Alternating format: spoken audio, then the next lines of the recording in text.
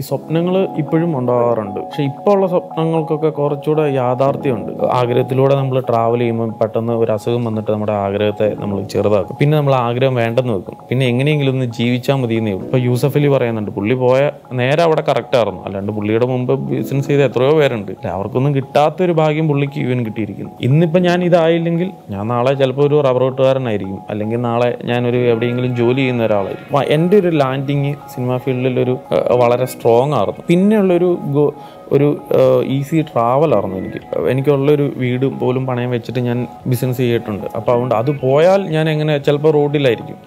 പക്ഷെ അങ്ങനെ ചിന്തിച്ച് നമുക്കൊന്നും ചെയ്യാനായിട്ട് പറ്റത്തില്ല. അപ്പോൾ ഞാനിപ്പോൾ രണ്ട് സിനിമ ചെയ്യുന്നെങ്കിൽ ഞാൻ എല്ലാ പടത്തിലും ലാഭമാണെങ്കിൽ കഥ വിജയിക്കുകയാണെങ്കിൽ ഒരു പത്തെണ്ണം വെച്ച് പ്രൊഡ്യൂസ് ചെയ്തേക്കാം. അപ്പോൾ എനിക്ക് ഒരുപാട് രൂപ കിട്ടുമല്ലോ.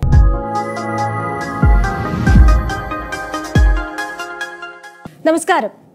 നമ്മൾ സിനിമ നിർമ്മിക്കുന്നത് പണസമ്പാദനത്തിനല്ല. മറിച്ച് കൂടുതൽ നല്ല സിനിമകൾ നിർമ്മിക്കാനാണ്. പറഞ്ഞിരിക്കുന്നത് രാജ്യാന്തര സിനിമകളുടെ തലതൊട്ടപ്പനായ വാൾട്ട് ഡിസ്നിയാണ്. എന്നാൽ സിനിമകൾ കലാമൂല്യമുള്ളവ അത് നിർമ്മിക്കുക ഉറപ്പാക്കുക എന്നതിലുപരിയായി ധനസമ്പാദനം ഉറപ്പാക്കുന്ന വമ്പൻ ഒരു വ്യവസായം കൂടിയാണ്. ആ സിനിമാ വ്യവസായത്തിൽ തന്റെതായ അടയാളപ്പെടുത്തലുകൾ നടത്തിയ ഒരു യുവാവ്. കോട്ടയം ജില്ലയിലെ ഉഴവൂർ എന്ന ഗ്രാമത്തിൽ നിന്നും സി എം എസ് കോളേജിലെ ക്ലാസ്മേറ്റ്സ് എന്ന് പറയുന്ന സിനിമയുടെ ലൊക്കേഷനിലെത്തി പൃഥ്വിരാജിനൊപ്പം ഒരു പടമെടുക്കാൻ വന്ന ആ കുട്ടി. പിന്നീട് പൃഥ്വിരാജിനെ തന്റെ സിനിമയിൽ അഭിനയിപ്പിച്ചു. പൃഥ്വിരാജിന്റെ നിർമ്മാണ പങ്കാളിയുമായി. ആരാണ് ആ യുവാവെന്ന് ഞാൻ പറഞ്ഞു തരേണ്ട കാര്യമില്ലല്ലോ. നമ്മുടെ സ്വന്തം ലിസ്റ്റിൻ സ്റ്റീഫനാണ് ഇന്ന് വാല്യൂ പ്ലസിലെ അതിഥി. ലിസ്റ്റിൻ നമ്മൾ ഈ കാണുന്ന ലിസ്റ്റിൻ സ്റ്റീഫൻ എന്ന് പറയുന്ന ആ ലിസ്റ്റിൻ സ്റ്റീഫന് പിന്നിൽ ഒരു ഫ്ലാഷ് ബാക്ക് ഉണ്ടല്ലോ. ഒരു കുട്ടി ലിസ്റ്റിൻ സ്റ്റീഫൻ ഉണ്ട് അപ്പോൾ അന്നത്തെ ആ ഒരു വിദ്യാർത്ഥിയായിരുന്നപ്പോൾ എന്താകണമെന്നായിരുന്നു ആഗ്രഹം? അന്ന് ഇതുപോലൊരു സിനിമ നിർമ്മാതാവാകണമെന്നോ അങ്ങനെയൊക്കെയുള്ള പ്ലാൻ ഉണ്ട് നിർമ്മാതാവാകാനായിട്ടുള്ള ഒരു ഒരു വലിയ സാമ്പത്തിക ഭദ്രതയുള്ള ഒരു ഫാമിലിയിൽ നിന്നൊന്നുമല്ല ഞാൻ വന്നത്. ഇതൊക്കെ കൂടെ കൂടെ വന്നു ചേർന്നാണ് സംഭവിച്ചതാണ്. നമ്മളൊരു ചെറിയ കുട്ടിയായിരിക്കുമ്പോൾ തന്നെ ഇത്തരത്തിലുള്ള കുഞ്ഞു കുഞ്ഞു സ്വപ്നങ്ങളുണ്ടല്ലോ. അപ്പം അന്നുണ്ടായിരുന്ന ആ സ്വപ്നങ്ങൾ ഇപ്പോൾ പറഞ്ഞില്ലേ നമ്മൾ എപ്പോഴും ഒരു സാമ്പത്തിക ഭദ്രതയുള്ള കുടുംബത്തിൽ നിന്ന് വരുന്ന ഒരാൾക്കാണ് ഒരു സിനിമാ നിർമ്മാതാവ് എന്ന് പറയുന്ന ഒരു ബ്രാൻഡ് നമ്മൾ എഴുതി നൽകിയിരിക്കുന്നത്. പക്ഷെ അങ്ങനെയല്ല ഒരു സാധാരണ കുടുംബത്തിൽ നിന്ന് വരുന്ന ഒരാൾക്ക് പോലും ഒരു സിനിമാ നിർമ്മാതാവാകാം എന്ന് തെളിയിച്ച വ്യക്തിയാണ്. അതുകൊണ്ട് തന്നെ ആ ചെറുപ്പത്തിൽ അത്തരത്തിലുള്ള സ്വപ്നങ്ങൾ ഉണ്ടായിരുന്നോ അല്ല അങ്ങനെയല്ല. ഈ ഈ സ്വപ്നങ്ങൾ ഇപ്പോഴും ഉണ്ടാകാറുണ്ട് പക്ഷെ ഇപ്പോൾ ഉള്ള സ്വപ്നങ്ങൾക്കൊക്കെ കുറച്ചുകൂടെ യാഥാർത്ഥ്യമുണ്ട്. പക്ഷെ ചെറുപ്പങ്ങളിൽ ചെറുപ്പത്തിലൊക്കെ കാണുന്ന സ്വപ്നങ്ങൾ എന്താണെന്ന് പറഞ്ഞു കഴിഞ്ഞാൽ ഇപ്പോൾ ചെറിയ വയസ്സിൽ ചെറിയൊരു ടോയ് വാങ്ങണമെന്നായിരിക്കും. അല്ലെങ്കിൽ ഒരു ബലൂൺ വാങ്ങണമെന്നായിരിക്കും. കുറച്ചുകൂടെ അങ്ങ് ഏജ് ആകുമ്പോൾ ഒരു നല്ല ഷർട്ട് വാങ്ങണമെന്നായിരിക്കും. അല്ലെങ്കിൽ ഇപ്പോൾ സ്കൂളിലൊക്കെ പഠിക്കുന്ന സമയത്തൊക്കെ ആണെങ്കിൽ വല്ല ഫംഗ്ഷനൊക്കെ വരുന്നിടത്ത് നല്ല മുണ്ടും അതിനോട് ചേർന്ന ഷർട്ടും അല്ലെങ്കിൽ ഒരു ബൈക്കൊക്കെ ഓടിക്കണമെന്നായിരിക്കും. ആ ഒരു അംബീഷൻ ആ ഒരു ഏജ് ഇങ്ങനെ പോകെ പോകെ നമ്മുടെ അംബീഷൻസ് കൂടുവാണ്. ഇപ്പോൾ നമ്മളൊരു കോളേജ് വരുമ്പോൾ നമ്മുടെ ഒരു അംബീഷൻ വേറെ ആയിരിക്കും ഇതൊക്കെ കഴിഞ്ഞു കഴിയുമ്പോഴാണ് കുറച്ചുകൂടി ഒരു അംബീഷൻ ലെവലിലൊരു വ്യത്യാസം ഈ ഇതിനുണ്ടാകുന്നത് ഇപ്പോൾ അതായത് ഏജ് നമ്മളെ ഡിഫൈൻ ചെയ്യുമെന്നാണ് എനിക്ക് തോന്നിയിട്ടുള്ളത്. കാര്യം നമ്മുടെയൊക്കെ ആ ഏജ് പോകെ പോകെ ഓക്കെ നമ്മൾ ഇന്ന വയസ്സിൽ ഞാൻ ആഗ്രഹിച്ചിട്ടുണ്ട് ഇന്ന വയസ്സിൽ കല്യാണം കഴിക്കണം ഇന്ന വയസ്സിൽ കുട്ടി ഉണ്ടാകണം ഇന്ന വയസ്സിൽ നമ്മൾ സെറ്റിൽഡ് ആകണം. അങ്ങനെയൊക്കെ ഇങ്ങനെ പലതും ഡിഫൈൻ ചെയ്തിട്ടുണ്ടായിരുന്നു. എന്നെ സംബന്ധിച്ച്. ഞാൻ ഉദ്ദേശിച്ച സമയത്ത് ഞാൻ കല്യാണം എപ്പോഴും കഴിച്ചിട്ടുണ്ട്. അല്ലെങ്കിൽ ഞാനിങ്ങനെ ബിസിനസ് ചെയ്ത് അല്ലെങ്കിൽ ഇന്ന സമയത്ത് വീട് വെക്കണമെന്ന് ഞാൻ ആഗ്രഹിച്ചിട്ടുണ്ട്. പക്ഷേ ഇപ്പോഴത്തെ ഒരു ഒരു ഒരു സംഭവങ്ങളാണ് കുറച്ചുകൂടെ യാഥാർത്ഥ്യം. ഇപ്പം ഞാൻ വിചാരിക്കുന്ന ഒരു കാര്യങ്ങൾ കുറച്ചുകൂടെ എനിക്ക് ചെയ്യാൻ പറ്റും. കുറച്ചുകൂടെ ഞാൻ മച്ചുവേർഡായി സ്വപ്നങ്ങൾ കാണുന്നതിലും അല്ലെ സ്വപ്നം കാണുന്നതിന്റെ ഒരു സാധ്യത എത്രത്തോളം ഒക്കെ ഉണ്ടെന്നുള്ളത് ഇപ്പം എന്നെ ഒരു എന്താ പറയുക ആണ് അപ്പൊ ചിലരോടെങ്കിലും ചോദിക്കുമ്പോൾ അവരൊക്കെ പറയും ഞാൻ അങ്ങനെ ഒരു സ്വപ്നമൊന്നും എനിക്കില്ലായിരുന്നു. ഈ ഒരു ഫീൽഡിലേക്ക് വരുമെന്ന് തന്നെ ഞാൻ കരുതിയിരുന്നില്ല. പക്ഷെ അതിനൊക്കെ വ്യത്യസ്തമായ ഒരു ആൻസർ ആണ് ലിസ്റ്റിൻ പറഞ്ഞത്. കാരണം ലിസ്റ്റിൻ അങ്ങനെ ഒരു പ്ലാനിങ് ഉണ്ടായിരുന്നു. ഈവൻ ചിലര് കല്യാണം കഴിക്കണോ വേണ്ടായോ എന്ന ചിന്ത തന്നെ വെച്ച് നടക്കുന്നത്. അപ്പൊ എനിക്ക് ഇന്ന ഏജിൽ കല്യാണം കഴിക്കണം എന്നൊരു പ്ലാനിങ് അപ്പൊ കൃത്യമായി കാര്യങ്ങൾ പ്ലാൻ ചെയ്ത് ചെയ്യുന്ന ഒരു വ്യക്തി തന്നെയാണോ? ഞാനിപ്പം ആണുങ്ങളെല്ലാവരും ഒരു ഇരുപത്താറ് ഇരുപത്തേഴ് ഇരുപത്തെട്ട് ഇരുപത്തൊമ്പത് മുപ്പത് വയസ്സ് വരെയൊക്കെയാണ് സാധാരണ രീതിയിൽ കല്യാണം കഴിച്ചുകൊണ്ടിട്ടിരുന്നത്. അപ്പം ആ രീതിയിലാണ് ഞാൻ പറഞ്ഞത്. എല്ലാവർക്കും ജീവിതത്തിൽ രക്ഷപ്പെടണം വലിയ കാർ വാങ്ങണം വലിയ വീട് വെക്കണം എന്നൊക്കെ ആഗ്രഹമില്ലാത്ത ആരാണുള്ളത്. പക്ഷേ ഇത് എല്ലാവർക്കും സംഭവിക്കുന്നില്ല. നമ്മുടെ ആഗ്രഹത്തിന് ആഗ്രഹത്തിലൂടെ നമ്മൾ ട്രാവൽ ചെയ്യുമ്പോൾ പെട്ടെന്ന് ഒരു അസുഖം വന്നിട്ട് നമ്മുടെ ആഗ്രഹത്തെ നമ്മൾ ചെറുതാക്കും. പിന്നെ നമ്മൾ ആഗ്രഹം വേണ്ടെന്ന് വെക്കും. പിന്നെ എങ്ങനെയെങ്കിലും ഒന്ന് ജീവിച്ചാൽ മതിയെന്നേ ഉള്ളൂ. അപ്പോൾ ആ പ്രാരാബ്ദങ്ങൾ എങ്ങനെ കഴിഞ്ഞുകൂടുക അപ്പോൾ അതാണ് ഞാൻ പറഞ്ഞത്. ഒന്നിനും ഒരു എല്ലാം എല്ലാം നേടിയാലും നമ്മൾ സ്റ്റിൽ കൺഫ്യൂസ്ഡ് ആണ്. ഏതാണ് ശരി ഏതാണ് തെറ്റ്. ഇന്ന് ഒരാളോട് സംസാരിക്കുമ്പോൾ നമ്മൾ ഓർക്കും ഇവൻ പറയുന്നത് ശരിയാന്ന് ഓർക്കും. നാളെ വേറൊരാളോട് സംസാരിക്കുമ്പം ഏ അവൻ പറഞ്ഞല്ല ഇവൻ പറഞ്ഞാൽ ശരിയെന്ന് നമുക്ക് തോന്നും. സോ ഒന്നുമില്ല. ഇന്നിപ്പോൾ ഞാൻ ഇതായില്ലെങ്കിൽ ഞാൻ നാളെ ചിലപ്പോൾ ഒരു റബ്ബർ വെട്ടുകാരനായിരിക്കും. അല്ലെങ്കിൽ നാളെ ഞാനൊരു എവിടെയെങ്കിലും ജോലി ചെയ്യുന്ന ഒരാളായിരിക്കും. അങ്ങനെയാണ്. അപ്പോൾ ഈ സാധാരണക്കാരെ ഞാൻ ഈ ചെറുപ്പക്കാരെ കാണുമ്പോൾ പലരും പല ബിസിനസ്സിലേക്കും പോകണം ഒരു സംരംഭകനാകണം എന്നൊക്കെ ആഗ്രഹിക്കുന്നത്. ഇപ്പോൾ ഞാൻ ലിസ്റ്റിൻ തന്നെ ഒരു അഭിമുഖത്തിൽ പറഞ്ഞു കേട്ടിട്ടുണ്ട്. നമ്മൾ പലപ്പോഴും ബിൽഗേറ്റ്സിനെയും ജാക്മായെയും ഒക്കെയാണ് നോക്കുന്നത്. പക്ഷെ നമ്മുടെ ചുറ്റുപാടും ബിസിനസ്സുകാരുണ്ട്. അപ്പോൾ ഇവരൊക്കെ നോക്കുമ്പോഴും മറ്റു പല സംരംഭങ്ങളിലേക്കും പോകാൻ യുവാക്കൾ താല്പര്യം പ്രകടിപ്പിക്കുന്നതായിട്ട് കാണും. പക്ഷെ വളരെ ചുരുക്കം പേരെ റിയൽ എസ്റ്റേറ്റിലേക്ക് വന്ന് ഞാൻ കണ്ടിട്ടുള്ളൂ. പക്ഷെ ലിസ്റ്റിന്റെ തുടക്കം റിയൽ എസ്റ്റേറ്റിലായിരുന്നു അല്ലേ? അന്നൊരു രണ്ടായിരത്തി ആറ് രണ്ടായിരത്തി ഏഴൊക്കെ കാലഘട്ടത്തിൽ റിയൽ എസ്റ്റേറ്റ് ഭയങ്കര ബൂം ചെയ്യുന്നു. അപ്പോൾ എനിക്കിങ്ങനെ കുറേ റിയൽ എസ്റ്റേറ്റ് ചെയ്യണം അങ്ങനെയല്ല. നമുക്ക് മുന്നിൽ ചെയ്തപ്പം പലരും എന്താണെന്ന് വെച്ചാൽ ചെറിയ പൈസ അഡ്വാൻസ് കൊടുക്കുമ്പോൾ തന്നെ എന്താണെന്ന് വെച്ചാൽ സ്ഥലം വിറ്റ് പോകുന്നു. അപ്പോൾ ഒരു ആധാരം അത് എഴുതണമെങ്കിൽ എന്താണെന്ന് വെച്ച് കഴിഞ്ഞാൽ ഫുൾ പൈസ കൊടുക്കണം. അത് മുടക്കാതെ തന്നെ അത് വിറ്റ് പോകുന്നു അതിനൊരു മാർജിൻ കിട്ടുന്നു. അങ്ങനെ പലരും പൈസ ഉണ്ടാക്കി. അപ്പോൾ അത് കാണുമ്പോൾ നമുക്കും നമ്മളെല്ലാവരും ആഗ്രഹമുള്ളവരാണല്ലോ. അപ്പോൾ നമ്മൾ ഓർക്കും നമുക്കും അത് ചെയ്താൽ എന്താണ്? എന്നൊക്കെ. അപ്പം നമ്മളും അത് ചെയ്തിട്ടുണ്ട്. നമുക്കും പൈസ ഇപ്പം ഇവനും കിട്ടിയിട്ടുണ്ട്. പക്ഷേ ഒരു വലിയ ഒരു ഒരു ഭയങ്കരമായിട്ടുള്ള ഒരു ലാഭം കിട്ടി. അങ്ങനെയല്ല. പക്ഷെ നമ്മളും അത് ട്രൈ ട്രൈ ചെയ്തിട്ടുണ്ട്. പക്ഷെ അത് നമ്മുടെ ഒരു തുടക്കമായിരുന്നു. ഇപ്പോഴും കുറെ പേർക്കെങ്കിലും ഈ റിയൽ എസ്റ്റേറ്റ് ബിസിനസ്സിലേക്ക് വരണമെന്നുണ്ടായിരിക്കും. അപ്പൊ അന്ന് ഇപ്പോൾ ലിസ്റ്റിന് തന്നെ പറയുന്നുണ്ട് വ്യാപകമായ ഒരു എക്സ്പീരിയൻസ് ഒന്നുമില്ല. എന്നാൽ ചെറിയ രീതിയിൽ അത് ചെയ്തിട്ടുമുണ്ട്. അപ്പൊ അന്ന് എന്തെങ്കിലും അതിലൊരു ചാലഞ്ചസ് അല്ലെങ്കിൽ ആ ബിസിനസ് അത് നമ്മൾ പഠിച്ചെടുക്കണമെങ്കിൽ തന്നെ കുറച്ച് പാടാണെന്ന് ചിലർ പറയാറുണ്ട്. ആക്ച്വലി പറഞ്ഞു കഴിഞ്ഞാൽ അതൊരു കോപ്പിയടിയാണ്. ഇപ്പോൾ നിങ്ങളിപ്പോൾ നന്നായിട്ട് ആങ്കർ ചെയ്യുന്നു എന്നോട് നല്ല രീതിയിൽ ക്വസ്റ്റ്യൻ ചോദിക്കുന്നു. അപ്പം അത് എന്നെ ചിലപ്പോൾ ഇമ്പ്രസ് ചെയ്യും. അത് ഞാൻ ട്രൈ ചെയ്ത് കഴിഞ്ഞാൽ അത് ചിലപ്പോൾ വർക്കൗട്ട് ആകണമെന്നില്ല ഇപ്പോൾ ഒരാൾ റിയൽ എസ്റ്റേറ്റ് ചെയ്ത് അവൻ ചെയ്യുമ്പോഴെല്ലാം നല്ല പൈസ ഉണ്ടാക്കിക്കൊണ്ടിട്ടിരിക്കുക. ഞാൻ അതുപോലെ ചെയ്തു കഴിഞ്ഞാൽ എനിക്ക് ആ ലക്ക് വേണം എനിക്ക് ആ സ്ഥലത്ത് കച്ചവടം നടക്കുന്നതിൽ എനിക്കൊരു ഭാഗ്യം വേണമായിരിക്കും. അപ്പോഴേ ഇത് വർക്കൗട്ട് ആവുള്ളൂ. അപ്പം നമ്മൾ കുറച്ച് കഴിയുമ്പോൾ നമ്മൾ ഫെഡപ്പ് ആവും. ഇത് നമുക്ക് ചേർന്നതല്ല. അങ്ങനെയാണ് പലരും പല ജോലികൾ ഇപ്പോൾ എഞ്ചിനീയറിങ്ങിന് പോയി ചേർന്നാൽ അത് മാറ്റിയിട്ടിട്ട് വേറെ ജോലിക്ക് ചിലപ്പോൾ ചേരും. അത് അതും വിട്ടിട്ട് വേറെ ജോലിക്ക് ചേരും. അപ്പോൾ അതെന്താണെന്ന് പറയുക ഒരു കോൺഫിഡ ഓ ഇതല്ലായിരിക്കും നമ്മുടെ റൂട്ട് നമ്മൾ ഇത്രയും അത് ട്രൈ ചെയ്തല്ലോ. നമുക്കത് വർക്കൗട്ട് ആയില്ലോ എന്ന് തോന്നി. അങ്ങനെയാണല്ലോ. ചില ഡൈവേഴ്സ് പോലും അങ്ങനെയല്ലേ? ഈ വൈഫിന്റെ കൂടെ നമ്മൾ പോയി കഴിഞ്ഞാൽ നമ്മൾ അല്ലേ? നമ്മുടെ ജീവിതം ശരിയാകത്തില്ല. ഓക്കെ നമ്മൾ ചിലവരെന്താണ്? ഈ വളരെ കാലഘട്ടം ആ, ജീവിത സഖിയായിട്ട് നിന്നിട്ട് പോലും ഡൈവേഴ്സിലേക്ക് എന്തുകൊണ്ടിട്ടാണ് വരുന്നത് അവർ കുറേ ലേറ്റായിട്ടാണ് തിരിച്ചറിയുന്നത് അല്ല കുറേ നാൾ വന്നിട്ട് പൊരുത്തപ്പെട്ട് പോയി സഹിച്ചു പോയായിരിക്കും ക്ഷമിച്ചു പോയായിരിക്കും. പക്ഷേ ഒരു ഘട്ടത്തിൽ നമ്മൾ ഡിസിഷൻ എടുക്കാനായിട്ട് തയ്യാറാകുന്നു. തയ്യാറാക്കുന്നവനാക്കുന്നു എന്ന് പറഞ്ഞ പോലെ തന്നെയാണ് ഈ ബിസിനസ് ബിസിനസ് നമുക്ക് ഒരു ഭാഗ്യം കിട്ടും. നമുക്കൊരു ഇപ്പോൾ സിനിമ തന്നെ. എനിക്ക് ആദ്യത്തെ സിനിമ ഭയങ്കര ഫ്ലോപ്പ് ആയിരുന്നെങ്കിൽ ഒരുപക്ഷെ എനിക്ക് പിന്നീട് ഒരു സിനിമ എപ്പോൾ എടുക്കാൻ പറ്റും എങ്ങനെയാവും എന്റെ ഒരു ജീവിതം എന്നൊന്നും എനിക്കറിയാൻ പറ്റത്തില്ല. ഫസ്റ്റ് സിനിമ തന്നെ എനിക്കൊരു ഫിനാൻഷ്യലി ലാഭം തന്നു വലിയൊരു നെയിം തന്നു. ഒരു അതിനുപരി ഒരു കോൺഫിഡൻസ് തന്നു. അപ്പോൾ അവിടെ തന്നെ നിന്നു. അപ്പം എന്നെ ശ്രവിക്കാനായിട്ട് ഞാൻ പറയുന്നത് കേൾക്കാനായിട്ട് കുറച്ച് പേര് ഉണ്ട്. അപ്പം ഇവൻ ചെയ്യുന്നത് കറക്റ്റായിരിക്കും എന്ന് വിശ്വസിക്കുന്നു. അങ്ങനെയൊക്കെയാണ് നമ്മുടെ പ്ലാനുകൾ ഇങ്ങനെ ഇങ്ങനെ ഇങ്ങനെ ഇങ്ങനെ മാറിപ്പോവും. അല്ലാണ്ട് എന്നേക്കാൾ എക്സ്പീരിയൻസ് ഉള്ള എത്രയോ പേര് സിനിമ ഇൻഡസ്ട്രിയിലുണ്ട് പ്രൊഡ്യൂസർ അസോസിയേഷനിലുണ്ട് ഞങ്ങളുടെ തന്നെ അംഗങ്ങൾ എത്ര പേരുണ്ട്? പക്ഷെ അവർക്കൊന്നും ചിലപ്പോൾ ആ ഭാഗ്യം കിട്ടുന്നില്ല. ഞാൻ വന്ന നേരം കറക്റ്റായിരിക്കും ഇപ്പോൾ യൂസഫ് അലി പറയുന്നുണ്ട് പുള്ളി പോയ നേരെ അവിടെ കറക്റ്റായിരുന്നു അല്ലാണ്ട് പുള്ളിയുടെ മുമ്പ് ബിസിനസ് ചെയ്ത എത്രയോ പേരുണ്ട്. അല്ല അവർക്കൊന്നും കിട്ടാത്തൊരു ഭാഗ്യം പുള്ളിക്ക് ഇവൻ കിട്ടിയിരിക്കുന്നു. ഇപ്പം ആർട്ടിസ്റ്റായിട്ട് വന്ന എത്രയോ പേരുണ്ട്. അഭിനയിക്കാൻ അറിയാവുന്ന ഇപ്പോൾ ഉള്ള ആർട്ടിസ്റ്റുകളെക്കാൾ നന്നായിട്ട് അഭിനയിക്കാൻ അറിയുന്ന എത്രയോ പേര് വെളിയിലുണ്ട്. പക്ഷേ ചിലവർക്കാണത് ആ ലക്ക് പറഞ്ഞിട്ടുള്ളൂ അതുപോലെ തന്നെ ഈ റിയൽ എസ്റ്റേറ്റിൽ നിന്ന് പിന്നീട് സിനിമയിലേക്ക് പതുക്കെ വന്നു. അപ്പോൾ സിനിമയിലേക്ക് മുടക്കാനുള്ള പണം റിയൽ എസ്റ്റേറ്റ് തന്നിട്ടുണ്ടോ? സിനിമയിലേക്ക് മുടക്കാനായിട്ടുള്ള. തീർച്ചയായിട്ടും ഞാൻ കുറച്ച് ഞാൻ മറ്റുള്ളവരെ അപേക്ഷിച്ചിട്ട് കുറച്ചും കൂടെ ചെറുപ്പം പോലെ തന്നെ ഈ വലിയ ആൾക്കാരോട് അതായത് പ്രായത്തിൽ മുതിർന്ന ആൾക്കാരോട് സംസാരിക്കുകയും ഇടപെടുകയും ചെയ്യുന്ന ഒരാളുകളാണ് ആളായിരുന്നു. അപ്പോൾ തന്നെ നമ്മൾ സംസാരിക്കുന്ന കാര്യങ്ങൾ കുറച്ച് വലിയ കാര്യങ്ങളായിരുന്നു. അപ്പോൾ നമ്മൾ ചോദിക്കുന്ന കാര്യങ്ങളും കുറച്ച് വലുതായിരുന്നു. പിന്നെ ഈ പണമിടപാടുകൾ അല്ലെങ്കിൽ വലിയ കാര്യങ്ങൾ സ്വപ്നം കാണുക വലിയ കാര്യങ്ങൾ സംസാരിക്കുക കുറേ ബിസിനസ്സുകൾ നടത്തുക അല്ലെ വേറെ ആൾക്ക് വേണ്ടിയിട്ട് നടത്തുക. അപ്പം അങ്ങനെയൊക്കെ ചെയ്ത് ചെയ്താണല്ലോ നമുക്കും അങ്ങനെ ഒരു ആഗ്രഹം മനസ്സിൽ ഉണ്ടാവുന്നു. അപ്പം നമുക്ക് എന്തുകൊണ്ട് ട്രൈ ചെയ്തുകൂടാ? അപ്പോൾ അങ്ങനെ ഞാൻ പല കാര്യങ്ങളും ഇപ്പോൾ ഈവൻ ചെയ്തിട്ടുണ്ട്. നമ്മളിപ്പോൾ പൈസ കടം ചോദിക്കും. ചിലപ്പോൾ ഒരു പതിനായിരം രൂപ കടം ചോദിക്കുന്നത് തന്നെ ഒരു പത്ത് പേരോട് ചോദിക്കുമ്പോഴായിരിക്കും ചിലപ്പോൾ കിട്ടുന്നത്. നമുക്ക് തരണം എന്നില്ലായിരിക്കും അവരുടെ മനസ്സിലെ ചിന്ത എന്താണ്? ചിലവർക്ക് ഇവൻ പതിനായിരം രൂപ കൊടുത്താൽ ഇവൻ എങ്ങാനും രക്ഷപ്പെട്ടാലോ എന്ന് ചിന്തിക്കുന്നവരുണ്ട്. ചിലവർ ചിന്തിക്കുന്ന എന്താണെന്ന് വെച്ചാൽ ഇവൻ തിരിച്ചു തന്നില്ലെങ്കിലോ ഏ? എന്ന് ചിന്തിക്കുന്നവരുണ്ട്. ചിലവർ ചിന്തിക്കുക എന്താണെന്ന് വെച്ചാൽ ഓക്കെ ഇവൻ തിരിച്ചു തരുമായിരിക്കും ഒരു റിസ്ക് എടുത്തേക്കാം എന്ന് ചിന്തിക്കുന്നവരുണ്ടോ? അപ്പോൾ പലർ പല രീതിയിലാണ് ചിന്തിക്കുന്നത്. സോ അപ്പം ആ ഭാഗ്യം എന്റെ ഭാഗ്യവും ആ പൈസ തന്നവന്റെ ഭാഗ്യം എല്ലാം ഒരുമിച്ചിരിക്കണം. അവന്റെ ഒരാളുടെ നിന്ന് ഞാൻ വാങ്ങുന്നു ആ ആൾക്ക് കറക്റ്റായിട്ട് തിരിച്ചു കൊടുക്കുന്നു. ചിലപ്പം ഞാൻ ചെയ്യുന്ന ബിസിനസ് ശരിയായില്ലെങ്കിൽ ആ തന്നയാളുടെ പൈസ പോയി. എന്നെ ഇപ്പം എന്ത് ചെയ്യാൻ പറ്റും? ഒരു ഒരു ഒരടി തരാൻ വരും ഒരു ഒന്ന് ഒരു ഇടി തരാൻ പറ്റും. അല്ല എന്നെ ഒന്ന് പേടിപ്പിക്കാൻ പറ്റും.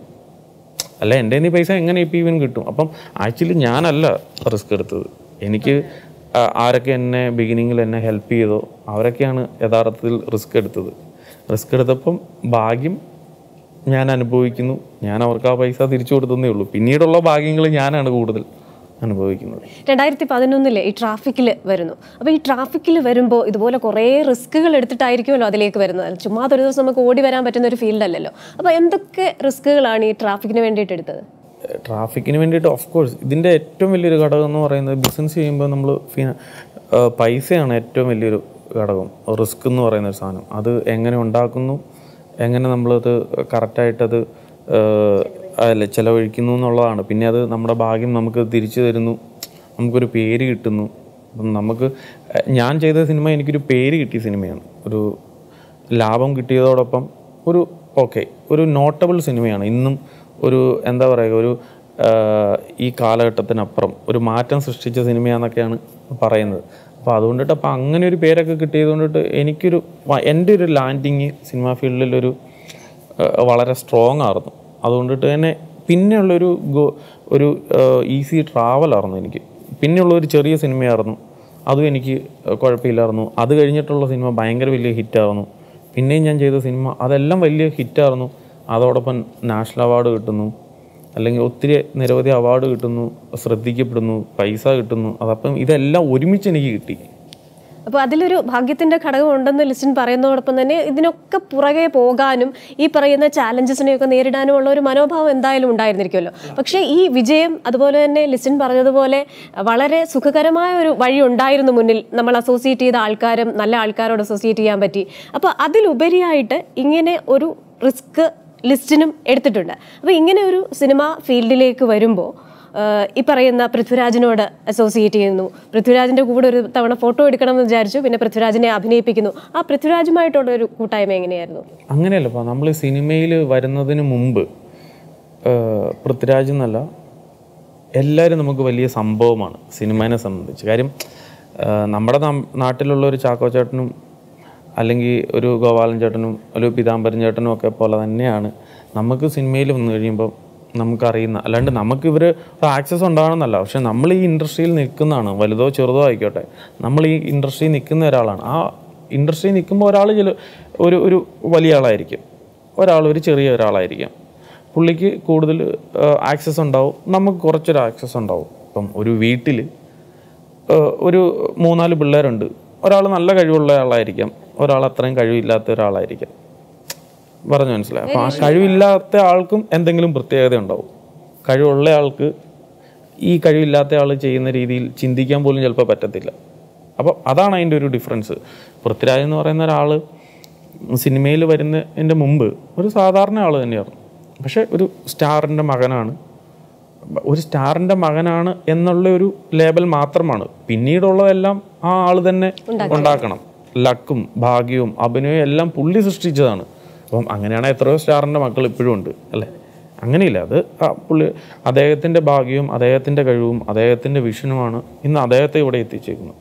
ഇപ്പോൾ ഈ ചിന്തയുടെ കാര്യം പറഞ്ഞല്ലോ ഇപ്പോൾ ലിസ്റ്റിന്റെ കേസിൽ ചില കേസിൽ നമ്മൾ out of the box thinking എന്ന് പറയുന്ന അത് പലപ്പോഴും കണ്ടിട്ടുണ്ട്. ഇപ്പോൾ പൃഥ്വിരാജ് തന്നെ ഒരിക്കൽ പറഞ്ഞിട്ടുണ്ട് സിനിമയുടെ റൈറ്റ്സ് ഇനി വിൽക്കണ്ട എന്നൊരു തീരുമാനം ധൈര്യപൂർവം എടുത്തത് ലിസ്റ്റിനാണെന്ന്. അപ്പോൾ അത്തരത്തിലുള്ള ചിന്ത അത് ശരിക്കും ഒരു ബോൾഡ് ഡിസിഷൻ ആണല്ലോ.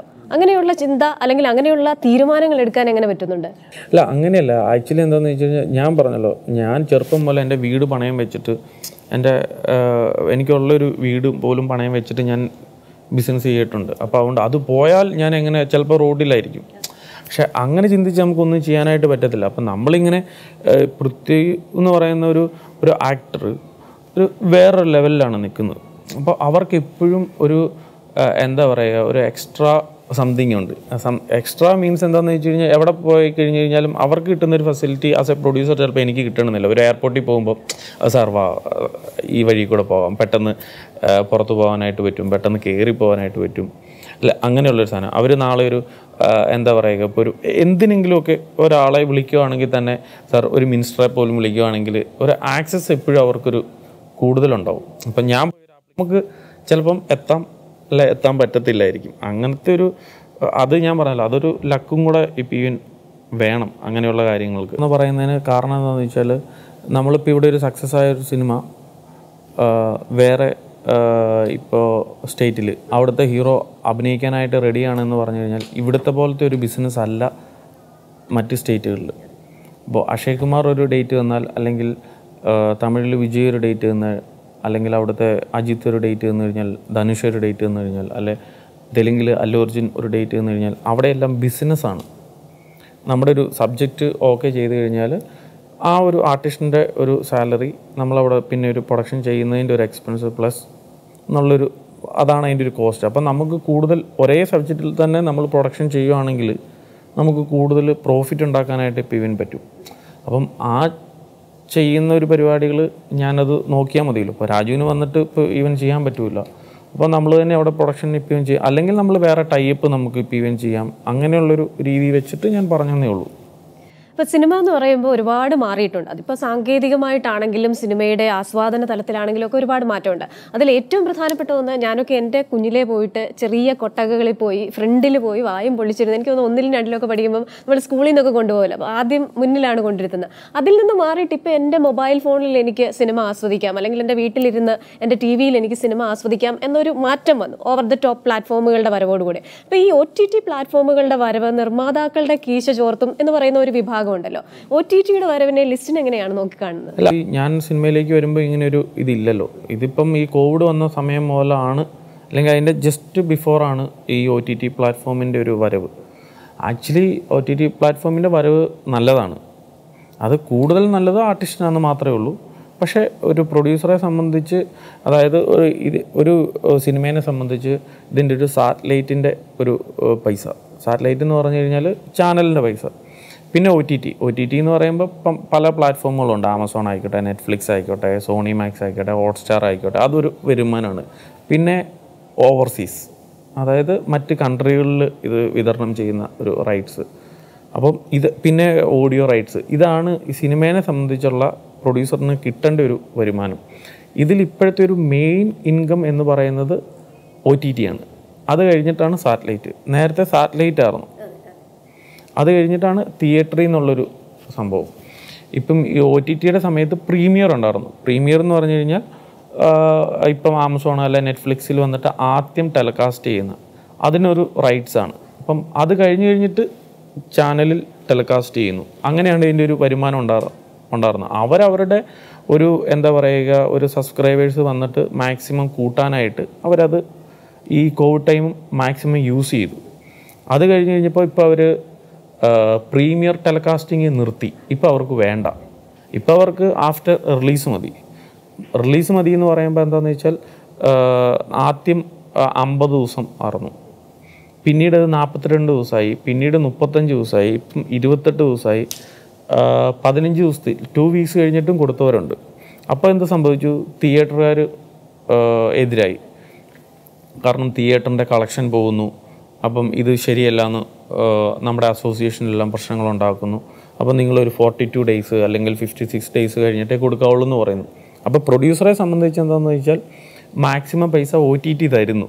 ഈ ഈ ഇരുന്നൂറ്റി അമ്പത് സിനിമകൾ അല്ലെ ഇരുന്നൂറ്റി ഇരുപത് സിനിമകൾ വർഷം ഇറങ്ങുന്നതിൽ പത്ത് ശതമാനം ആണ്. അതായത് ഒരു ഇരുപത് സിനിമകൾ മാത്രമാണ് സക്സസ് ആവുന്നത്. അല്ലെങ്കിൽ മുതൽ തിരിച്ചു പിടിക്കുന്ന സിനിമകൾ അപ്പോൾ അത്രയും റേഷ്യോ ഉള്ളൂ സിനിമയുടെ ഒരു സക്സസ്സിന് അപ്പം ബാക്കിയുള്ള നിർമ്മാതാവ് എങ്ങനെയാണെന്ന് വെച്ച് കഴിഞ്ഞാൽ ഇതിന്റെ അകത്ത് എക്സ്പീരിയൻസ് ഉള്ളവർ എങ്ങനെ ഇതിന്റെ അകത്ത് നിന്ന് എസ്കേപ്പ് ആകാൻ പറ്റുമെന്നാണ് നോക്കുന്നത്. അപ്പം ഇതാദ്യം കൊടുക്കുക എന്നിട്ട് പ്രശ്നങ്ങളെ നേരിടാം എന്നുള്ള ഒരു ചിന്താഗതിയിലാണ്. അപ്പം ഓരോരോ ബിസിനസ് നടത്തുന്നവർക്ക് ഓരോരോ ടെൻഷൻസാണ് തിയേറ്റർ നടത്തുന്ന ആളുകൾക്ക് അയ്യോ നമ്മുടെ കളക്ഷൻസ് പോവും അത് ഓടിക്കൊണ്ടിരിക്കുന്ന പടങ്ങളാണ്. അപ്പോൾ ഓഡിയൻസിന്റെ മൈൻഡിൽ വന്നിട്ട് ഓക്കെ ഇത് ഇരുപത്തെട്ട് ദിവസം കഴിഞ്ഞിട്ട് ഒ ടി ടിയിൽ വരുന്നതല്ലേ നമുക്ക് അപ്പം കണ്ടാൽ മതി എന്നുള്ള ചിന്ത. പ്രൊഡ്യൂസറെ സംബന്ധിച്ച് എന്താണെന്ന് വെച്ചാൽ ഇത് ഓടുവോ ഓടിയില്ല ഇല്ലയോ എന്ന് നമുക്ക് അറിയത്തില്ലല്ലോ എത്രയും പെട്ടെന്ന് നമുക്ക് പൈസ തിരിച്ച് കിട്ടുന്നത് എങ്ങനെയാണോ അങ്ങനെ നമുക്ക് സെയിൽ ചെയ്യാം. അപ്പം ആ രണ്ട് പേര് തമ്മിലുള്ളൊരു ക്ലാഷാണ് ഇപ്പോൾ ഉള്ളത്. പക്ഷേ ഇപ്പോൾ അതുകൊണ്ടിട്ട് തന്നെ മറ്റ് സ്റ്റേറ്റുകളിലൊക്കെ ഇപ്പോൾ അമ്പത്താറ് ദിവസം നാൽപ്പത്തിരണ്ട് ദിവസം എന്നുള്ളൊരു ഇപ്പം മലയാളത്തെ സംബന്ധിച്ച് നാൽപ്പത്തിരണ്ട് ദിവസം എന്നാണ് പറയുന്നത്. പക്ഷേ ചില സിനിമകൾ ഇരുപത്തെട്ട് ദിവസം ഇപ്പം ഞാൻ തന്നെ ഇരുപത്തെട്ട് ദിവസം ആയിട്ട് സിനിമകൾ വിറ്റിട്ടുണ്ട്. പക്ഷേ നമ്മൾ നാൽപ്പത്തിരണ്ട് ദിവസം വിൽക്കുന്ന പരിപാടിയിലേക്കാണ് ഇപ്പോൾ കമ്മിറ്റ് ചെയ്തേക്കുന്നത്. കാര്യം എല്ലാവർക്കും അതിന്റേതായ ബുദ്ധിമുട്ടുകളുണ്ടല്ലോ. അതാണ് ഒ ടി ടിയുടെ ഒരു വരവ്. ചിലവർക്ക് ലാഭമുണ്ട് ചിലവർക്ക് ടെൻഷനുണ്ട്. പക്ഷേ ഈ ബിസിനസ് കൂടുന്തോറും ആർട്ടിസ്റ്റുകളുടെ ശമ്പളമാണ് വർദ്ധിക്കുന്നത്. ടെക്നീഷ്യന്റെ ശമ്പളമാണ് വർദ്ധിക്കുന്നത്. നിർമ്മാതാക്കൾക്ക് ആ ഒരു സിനിമയിൽ അല്ലെങ്കിൽ ആ രണ്ടാമത്തെ സിനിമയിൽ മാത്രമാണ് ഇതിന്റെ ഒരു ബെനിഫിറ്റ് ആ ലക്കുള്ള പ്രൊഡ്യൂസർക്ക് മാത്രമാണ് ഇതിന്റെ ഒരു ബെനിഫിറ്റ് കിട്ടുന്നത്. പിന്നീടുള്ളതെല്ലാം ആർട്ടിസ്റ്റുകൾ അപ്പോൾ അങ്ങനെ ഈ ആർട്ടിസ്റ്റുകളുടെ പ്രതിഫലം കൂടുന്നു. അതേപോലെ തന്നെ അതിൽ വർക്ക് ചെയ്യുന്ന മറ്റ് ടെക്നീഷ്യൻസിന്റെ പ്രതിഫലം കൂടുന്നു. എന്ന് പറയുമ്പോൾ നിർമ്മാതാവിന്റെ ഭാഗത്ത് നിന്ന് ചിന്തിക്കുമ്പോൾ നമ്മൾ രണ്ടുപേരും എക്കണോമിക്സ് പഠിച്ചു വരാമെന്ന് അത് സന്തോഷമാണ്. അപ്പോൾ നിർമ്മാതാവിന്റെ ഭാഗത്ത് നിന്ന് ചിന്തിക്കുമ്പോൾ ഇവർക്ക് കൂടുതൽ പണം കൊടുക്കേണ്ടി വരുന്നു എന്ന് പറയുന്നതിൽ എന്തെങ്കിലും ഒരു ഡിസഡ്വാന്റേജ് ഉണ്ടോ? അല്ല ഇൻഡസ്ട്രിയിലുള്ള ഒരു ചെറിയ ആർട്ടിസ്റ്റിനെ വെച്ച് സിനിമ എടുക്കുന്നില്ല. ഇത്രയും രൂപ ഇൻവെസ്റ്റ് ചെയ്യുന്നില്ല. സിമ്പിൾ ക്വസ്റ്റ്യൻ അപ്പം ഞാൻ എന്തുകൊണ്ടിട്ട് പൃഥ്വിരാജിന്റെ കൂടെ പി വി നിൽക്കുന്നു എന്ന് ചോദിച്ചാൽ അല്ലെങ്കിൽ ഇന്ന ആർട്ടിസ്റ്റുകൾ എന്തുകൊണ്ടിട്ട് ആന്റണി പെരുമ്പാവൂർ അല്ലെങ്കിൽ ഇന്ന ഞാൻ പേരെടുത്ത് പറയുന്നില്ല അങ്ങനെയല്ല. അപ്പം അവരെ വെച്ചേ ഉള്ളൂ ഇത്ര രൂപ ബഡ്ജറ്റിൽ സിനിമ എടുക്കാൻ പറ്റുള്ളൂ. ഒരു ആർട്ടിസ്റ്റിന്റെ ഒരു എന്താ പറയുക താരമൂല്യം കുറയും തോറും അത്ര കുറച്ചേ ഉള്ളൂ ബഡ്ജറ്റ് എടുക്കാനായിട്ട് പറ്റുള്ളൂ. ഇതിനെ ഒരു ബിസിനസ്സായിട്ട് കാണുന്നവർക്ക് ഇപ്പോൾ ചിലവർക്ക് റിസ്ക് എടുക്കാം. പിന്നെ കൂടുതൽ ഫോറിനിൽ നിന്നൊക്കെ നല്ല പൈസ ഉണ്ടാക്കി വന്നവർ നല്ല പൈസ ഉള്ളു. സിനിമ മോഹികളായിട്ട് വന്നവർ അവരെയൊക്കെ ഇത് ഇട്ടാൽ ഇങ്ങനെ കിട്ടും എന്നൊക്കെ ഓർത്ത് വരുന്നവർക്ക് വലിയ ബഡ്ജറ്റിൽ സിനിമ എടുക്കാം. അവർക്കൊന്നുമില്ലാതെ ചിലപ്പോൾ പോകും അവർക്ക് ചിലപ്പോൾ ബിസിനസ് ചെയ്യാനായിട്ട് അറിയത്തില്ല. ചിലവർ പറയുന്നത് വിശ്വസിച്ച് നിൽക്കുമായിരിക്കും ഇൻഡസ്ട്രിയിൽ ലാസ്റ്റ് മിനിറ്റ് വരെ നിൽക്കും സിനിമ ഇറങ്ങുന്ന വരെ നിൽക്കും ഇറങ്ങിക്കഴിയുമ്പം ഇത് ആരും എടുക്കില്ല സക്സസ് അല്ലെങ്കിൽ സക്സസ് ആയ സിനിമ പോലും ചിലപ്പോൾ ഇപ്പോൾ ഒ ടി ടി പ്ലാറ്റ്ഫോമോ അല്ലെങ്കിൽ സാറ്റലൈറ്റുകാരോ എടുക്കണമെന്നില്ല. കാര്യം എന്താണെന്ന് വെച്ചാൽ ഈ ഈ ഒ ടി ടി പ്ലാറ്റ്ഫോമിനെ സംബന്ധിച്ച് അവരുടെ ഒരു വേഡിങ് എന്ന് പറയുന്നത് കലണ്ടർ എന്നാണ്. ഞങ്ങളുടെ കലണ്ടർ തീർന്നു. ഞങ്ങളുടെ ഈ വർഷത്തെ ബഡ്ജറ്റ് തീർന്നു. ചാനലിനെ സംബന്ധിച്ച് പറയും ഈ പടം ഞങ്ങളുടെ ചാനലിന് അതായത് വർക്കൗട്ട് ആകത്തില്ല. ചാനൽ ഇറങ്ങിയ സിനിമകൾ കുറച്ചുകൂടെ ഹ്യൂമറുള്ള സിനിമകളാണ് ഞങ്ങൾക്ക് വേണ്ടത്. ഇത് ഞങ്ങൾക്ക് ചിലപ്പോൾ പോകത്തില്ലായിരിക്കും. അപ്പം പല കമൻസ് പലർക്ക് വരും. അപ്പോൾ ഇത് അഭിമുഖീകരിക്കുന്നത് ചിലപ്പം നിർമ്മാതാവാവും. അപ്പം അവരിപ്പോൾ ആരെ പോയി സമീപിക്കും? ഇതിപ്പം ഒരു മെയിനായിട്ടുള്ളത് രണ്ടോ മൂന്നോ ചാനൽ മാത്രമാണ് ഇതിങ്ങനെ ബൈ ചെയ്യുന്നത്. അപ്പം അവർ വാങ്ങിയില്ലെങ്കിൽ ഇത് പോയി നമുക്ക് കല്യാൺ സിൽക്സിലോ ഷീമാട്ടിയിലോ ജയലക്ഷ്മിയിലോ ഒന്നും പോയി വിൽക്കാൻ പറ്റത്തില്ല എന്നുള്ളതാണ് മനസ്സിലാക്കേണ്ടത്. നമ്മൾ പല നിർമ്മാതാക്കളോടും ചിലപ്പോൾ എന്താണെന്ന് ചോദിച്ചാൽ വേണ്ട അത് ഞാൻ എന്തുകൊണ്ടിട്ടാണ് മാക്സിമം കുറച്ചുകൂടെ റെപ്യൂട്ടേഷനുള്ള ഒരു വലിയ താരമൂല്യമുള്ള ഒരു ആർട്ടിസ്റ്റുകളെ വെച്ച് നിർമ്മിക്കുന്നതെന്ന് ചോദിച്ചാൽ അതിനാണ് റിട്ടേൺസ് ഉള്ളത്. അപ്പോൾ അല്ലാത്തവരെ വെച്ചിട്ട് നിർമ്മിക്കുമ്പോൾ നമുക്ക് റിസ്ക് കുറവാണെങ്കിൽ നമുക്ക് നിർമ്മിക്കാമല്ലോ ഈസി ആയിട്ട്. ഇത് നമ്മൾ പലർക്കും അഡ്വൈസ് ചെയ്യാറുണ്ട്. പക്ഷേ എന്നാന്ന് വെച്ചാൽ പുള്ളിക്ക് അസൂയ ഉള്ളതുകൊണ്ടിട്ടാണ് നമ്മൾ രക്ഷപ്പെടുന്നതുകൊണ്ടിട്ട് പുള്ളിക്ക് പ്രശ്നം ആയതുകൊണ്ടിട്ടാണ് അപ്പോൾ പല രീതിയിലും പല കമന്റുകളാണ് അപ്പോൾ നിങ്ങൾ മാത്രം പടം ചെയ്താൽ മതിയോ? അപ്പോൾ നമുക്ക് ഇന്നയാളുടെ ഡേറ്റ് കിട്ടുന്നില്ലല്ലോ. അപ്പം ഇങ്ങനെയുള്ള പല പല കമന്റുകൾ നമ്മൾ ഫേസ് ചെയ്യേണ്ടതായിട്ട് വരും. അപ്പം നമ്മൾ ഇപ്പം നമ്മൾ വൺ ടു വൺ ടോക്ക് ആയതുകൊണ്ട് ഇപ്പോൾ ഇതിങ്ങനെ പറയാം. പക്ഷേ ഇതൊക്കെ നമ്മൾ ഡെയിലി കാണുമ്പോൾ കേൾക്കുമ്പോൾ അതിനൊരു സുഖം ഉണ്ടാകത്തില്ല അപ്പോൾ നമ്മൾ സ്കിപ്പ് ചെയ്യുക ഓക്കെ ഏട്ടാ നിങ്ങൾ ചെയ്യുന്നതായിരിക്കും നല്ലത് എന്ന് പറഞ്ഞ് വിടുക എന്നുള്ളതാണ്. ഇതൊരു വലിയ സ്കെയിൽ ബിസിനസ്സാണ് ഇപ്പോൾ എക്സ്പെഷ്യലി ഇപ്പോൾ നടന്നില്ലെങ്കിൽ ചെറിയ എമൗണ്ട് ഒന്നും അല്ല പോകുന്നത്. ഇപ്പോൾ വലിയ എമൗണ്ടാണ് ഇൻഡസ്ട്രി വളർന്നു ആർട്ടിസ്റ്റുകളുടെ റെമ്യൂറേഷൻ വളർന്നു അതോടൊപ്പം ബിസിനസ്സും വളർന്നു ഓഫ് കോഴ്സ് ഇപ്പൊ ലിസ്റ്റിൻ പറയുന്നത് ഇപ്പൊ നോർമലി രണ്ട് തരത്തിലുള്ള ആൾക്കാരുണ്ട്. ഒരു വിഭാഗം പറയുന്നത് ഈ മൈക്രോ ബജറ്റിംഗ് എന്ന് പറയുന്നത് സിനിമയിലെ ഹോളിവുഡിലൊക്കെ സിനിമ ക്ലാസ്സുകളിൽ തന്നെ പറഞ്ഞു കൊടുക്കുന്നതാണ് മൈക്രോ ബജറ്റിൽ എങ്ങനെ നിങ്ങൾക്ക് ആക്ഷൻ പ്ലാൻ എടുക്കാം അല്ലെങ്കിൽ ആക്ഷൻ സീക്വൻസ് എടുക്കാം എന്നൊക്കെ പഠിപ്പിക്കുന്ന ഒരു കാലമാണ്. അപ്പോൾ ഒരു വിഭാഗം ആൾക്കാർ പറയുന്നത് മൈക്രോ ബജറ്റിൽ വളരെ ചുരുങ്ങി മുണ്ട് മുറുക്കി എടുത്ത് സിനിമ എടുക്കണമെന്ന് വാദിക്കുന്ന ഒരു വിഭാഗമുണ്ട്. മറുഭാഗത്ത് ഡിസിൻ പറയുന്ന പോലെ നമ്മൾ വിശാലമായ സ്വപ്നം കാണണം വിശാലമായ ബജറ്റ് തന്നെ നമുക്ക് വേണം. വിശാലമായ ഇൻ ദ സെൻസ് അതിന് വേണ്ട ബജറ്റ് നമുക്ക് വേണം എന്ന് പറയുന്നത്. അപ്പോൾ ഇവിടെ ഒരു ക്ലാഷും ഇല്ലാതെ ലിസ്റ്റിൻ പറയുന്നത് തീർച്ചയായും അത്തരത്തിൽ ഈ പറയുന്ന ഒന്നാം വിഭാഗത്തെ പോലെ അല്ല ചിന്തിക്കേണ്ടതെന്ന് തന്നെയാണോ? നമ്മുടെ അടുത്ത് വരുന്ന സബ്ജക്റ്റ് ആണ് ഇതിന്റെ ഒരു ബഡ്ജറ്റ് എന്ന് പറയുന്നത്. ഇപ്പോൾ ചെറിയ സിനിമയ്ക്ക് ചെറിയ ബഡ്ജറ്റ് മതി. അപ്പോൾ ആർട്ടിസ്റ്റിന് നമുക്ക് അങ്ങനെ കിട്ടിയെങ്കിൽ നമുക്ക് ലാഭമായിട്ട് വരും. പ്രൊഡ്യൂസർക്ക് ലാഭമായിട്ട് വരും.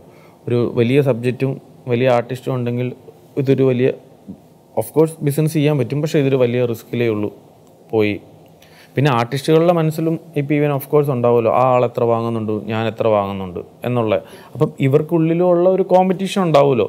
എന്റെ ഇത്ര ബിസിനസ്സായി എന്റെ ഇത്ര കളക്ട് ചെയ്തു എന്നുള്ള ഒരു ഫീലും ഇപ്പോൾ ഇവനുണ്ടാവും നമുക്ക് അത് അവരുടെ ആ തിങ്കിങ് തെറ്റാന്ന് നമുക്ക് പറയാൻ പറ്റത്തില്ല. എല്ലാവർക്കും ഇപ്പോൾ ഞാനും വാശിയോടെ അല്ലേ ഇപ്പോൾ ഇവൻ നടക്കുന്നത്. അല്ലെ വേറൊരാളും വാശിയോടെയാണ്. ഇപ്പം നമ്മൾ പഠിക്കുന്ന സമയത്തായിക്കോട്ടെ അല്ല വീട്ടിൽ ചില പിള്ളേർ ഭക്ഷണം കഴിക്കുമ്പോഴായിക്കോട്ടെ അനിയന്റെയൊക്കെ കൂടുതൽ പെട്ടെന്ന് ചേട്ടൻ കഴിച്ചു തീർക്കണം. അത് പറഞ്ഞായിരിക്കും അമ്മ ചിലപ്പോൾ കുട്ടിക്ക് ഭക്ഷണം കൊടുക്കും. ദേ നോക്കി ചേട്ടൻ അത് തീർക്കാൻ പോവാ. നീ അപ്പോൾ ഓരോരുത്തർക്കും ഓരോ രീതിയിലുള്ള മോട്ടിവേഷനും തിങ്കിങ്ങും ആണ്. അപ്പോൾ അതുകൊണ്ടിട്ട് ആക്ച്വലി സിനിമയ്ക്കോ അല്ല മറ്റ് ബിസിനസ്സിനോ ഒന്നും ഒരു സക്സസ്സിനൊരു വിജയ ഒരു ഒരു ഒരു ഒരു ഫോർമുല ഇല്ല. എല്ലാവരും പറയും ദൃഢനിശ്ചയം. ഭയങ്കരമായിട്ടുള്ള പ്രിൻസിപ്പൾ ഉണ്ടായിരിക്കണം. അങ്ങനെയൊന്നുമില്ല. ഒട്ട് അങ്ങനെയാണ് എല്ലാവർക്കും ദൃഢനിശ്ചയത്തോടെ തന്നെ എടുത്താൽ പോരാ. ഇത് ലക്ക് വേണം ഈ സംഭവത്തിന്. ഒരു ലോട്ടറി എടുക്കുമ്പോൾ എല്ലാവരും ലോട്ടറി എടുക്കുവാണ്. എന്നാൽ ലോട്ടറി എടുക്കുമ്പോൾ ഒരാൾക്കല്ലേ അടിക്കുന്നുള്ളൂ. പ്രൈസ് ഒരാൾക്കേ ഉള്ളായിരിക്കാം. എന്നാൽ എനിക്കടിച്ചുകൂടെ എന്ന് നമുക്ക് തോന്നാലോ. പക്ഷെ ആ ഒരാൾക്കാണ് അവിടെ ലക്കുള്ളത് അതിൽ മജോറിറ്റി ലക്കുള്ളവന് അതടിക്കും. അതേസമയം തന്നെ ട്രൈ ചെയ്യുന്നതിന് കുഴപ്പമില്ല. ഞാൻ പറഞ്ഞ സിനിമയിൽ വരുന്നവർക്ക് അതായത് റിസ്ക് ഇല്ലാതെ. എനിക്ക് സിനിമ നഷ്ടപ്പെട്ട് കഴിഞ്ഞാലും ഒന്നും സംഭവിക്കുന്നില്ല. എന്നെ അഫക്റ്റ് ചെയ്യുന്നില്ല. എന്ന് തോന്നുന്നുള്ളവർക്ക് മാത്രം വരാൻ പറ്റുന്ന ഒരു ഫീൽഡാണ് സിനിമ ആക്ച്വലി. കാര്യം ഇത് ഇതൊരു നമുക്ക് അട്രാക്ഷൻ കൂടുതലാണ്. ഫെമിലി ഒരു ഒരു ആർട്ടിസ്റ്റിനോട് ഫോട്ടോ എടുക്കുന്നത് സംസാരിക്കുന്നത് അവർ നമ്മുടെ അടുത്ത് ഇപ്പം ഭക്ഷണം കഴിക്കുന്നത് ഇതൊക്കെ ആസ്വദിക്കുന്നവർ ഒത്തിരി പേരുണ്ട്. പണം ഉണ്ടാക്കി കഴിയുമ്പോൾ പിന്നെ മറ്റുള്ളവർക്ക് വേണ്ടത് ഫെമിലിയർ ആവുക ഇവരൊക്കെ വരിക രാഷ്ട്രീയ നേതാക്കൾ വീട്ടിൽ വരിക സിനിമാക്കാർ വരിക സ്പോർട്സ് ക്രിക്കറ്റ് പ്ലെയേഴ്സ് വരിക ഫുട്ബോൾ പ്ലെയർ വരിക ഇതൊക്കെയാണ് അവരുടെ ഒരു കൗതുകം പിന്നെ. പിന്നെ അവർക്ക് പൈസയല്ല. അവർക്ക് പൈസ ഓട്ടോമാറ്റിക്കലി ഉണ്ടായല്ലോ. പിന്നെയുള്ളൊരാഗ്രഹം ഇങ്ങനത്തെ ആയിരിക്കും അപ്പോൾ എന്നിട്ട് അവർ ചിലപ്പോൾ ഓട്ടോമാറ്റിക്കലി ഒരു പടം എടുക്കുമായിരിക്കും. അപ്പോൾ അവർ അത് സംഭവിക്കും. അപ്പോൾ ഇവർക്കൊന്നിനും കുറയ്ക്കാൻ പറ്റത്തില്ല. ചെറുതാകാനായിട്ട് പറ്റത്തില്ല. നമ്മളിപ്പോഴും ചില ചെറിയ പൈസയ്ക്ക് വേണ്ടിയിട്ട് തർക്കിക്കാറുണ്ട്. അതെന്താണെന്ന് വെച്ചാൽ ചെറിയ പൈസ ആയതുകൊണ്ടിട്ടല്ല. നമ്മൾ ചെയ്യുന്ന പരിപാടി വിജയിപ്പിക്കുക എന്നുള്ളതാണ്. പൈസ കളയാൻ എല്ലാവർക്കും പറ്റും. പക്ഷേ പൈസ എല്ലാവർക്കും ഉണ്ടാക്കാൻ പറ്റുന്നില്ലല്ലോ.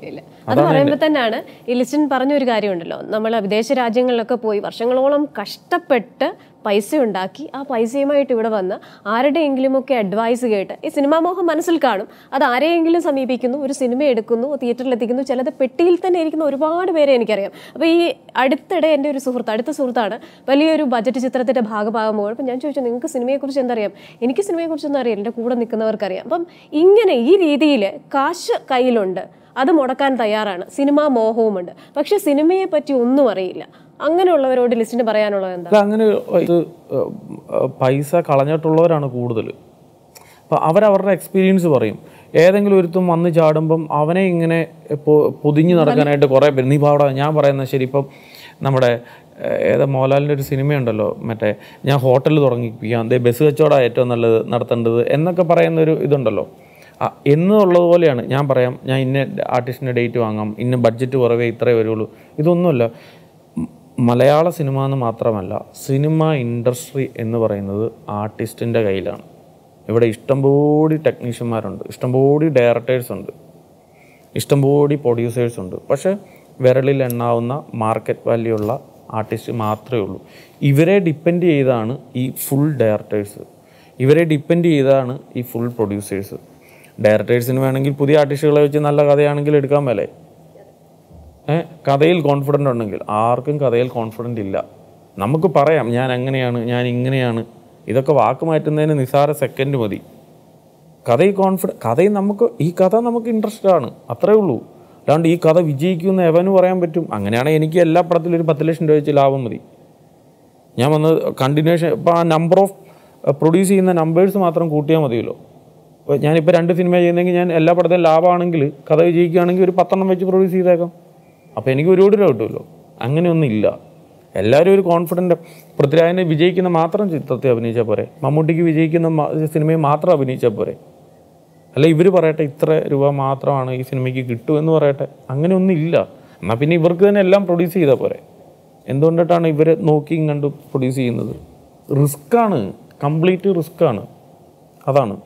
മറ്റ് ഇൻഡസ്ട്രികളിൽ എന്താണെന്ന് വെച്ച് കഴിഞ്ഞാൽ ഇവിടെ ഉള്ള പ്രത്യേകതയും മറ്റ് സ്ഥലത്ത് ഉള്ള പ്രത്യേകതയും എന്താണെന്ന് ചോദിച്ചു കഴിഞ്ഞാൽ മറ്റ് ഇൻഡസ്ട്രിയിൽ ഒരു സിനിമ പരാജയപ്പെട്ടാൽ താരത്തിന്റെ മൂല്യം പതുക്കെ കുറഞ്ഞു കുറഞ്ഞു വരും.